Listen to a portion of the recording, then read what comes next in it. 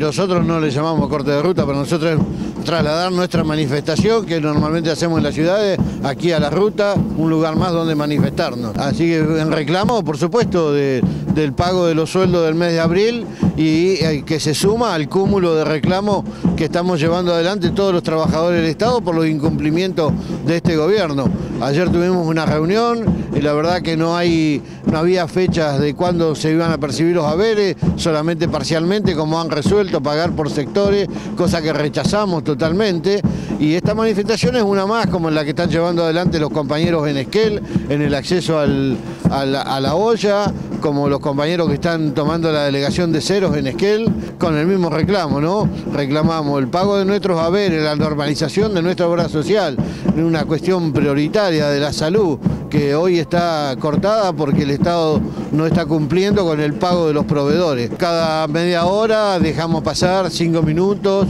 de un lado y de otro. no queremos molestar a la comunidad, pero realmente hemos llegado a una este, situación extrema que ya estamos a más de mitad de mes y no hemos podido cobrar los haberes este del mes de junio. Concretamos una reunión para el lunes que viene para ver